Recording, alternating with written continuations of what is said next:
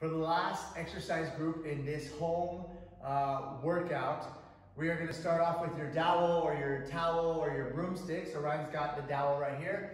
She's gonna start off with her arms wider than shoulder width apart. Ryan's gonna lean to her left and swoop it through.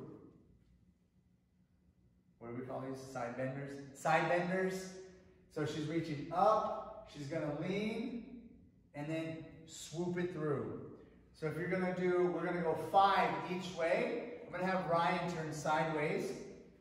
When Ryan leans, she's not going forward to back until she swoops through. So you're trying to stay nice in a, in a straight line the entire time as you swoop and go through. Once Ryan gets five, she just switched directions.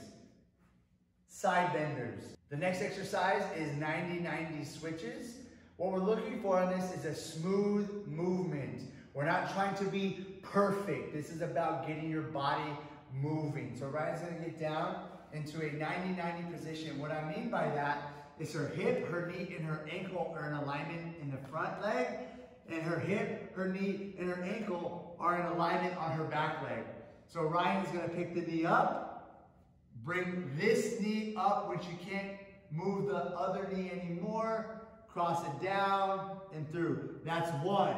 She brings this knee up until she absolutely has to move the other knee. That's two. She's trying to maintain an upright posture as best as she can. That's three. So in this, you're gonna do 12 90-90s with the switch. Last one in this circuit, if some of you have ever taken a yoga class, this is a very common movement. The down dog, we're just blending that into this movement. So she's coming down, getting in onto her hands and her knees. Now, to make this easier, she can shift her knees back. To make it a little bit more difficult, she can bring her knees up here.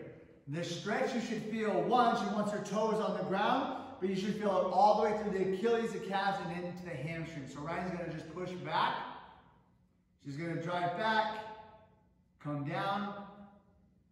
Good, that's one. She's gonna bring it up, drive it back, bring it down. That's two. She's gonna do 10 of the down dogs.